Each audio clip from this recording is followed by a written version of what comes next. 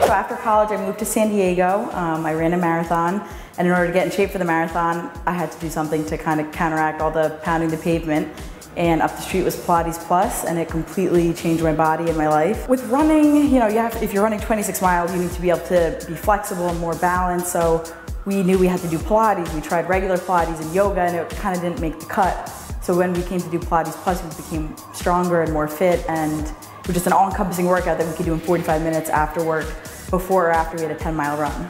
There's no 45 minute workout that you come in, it's fun, it's full body, it's cardio, it's strength training, it's balancing, it's flexibility. There's nothing like it anywhere else except Lagree. If you like working out, or even if you don't like working out, there's no harm in just trying it once, and I promise you, when you do it once, you'll have so much fun, you wanna come back, and it really just helps your overall mentality and body, whole mind body all in once. So I really recommend it. Come try.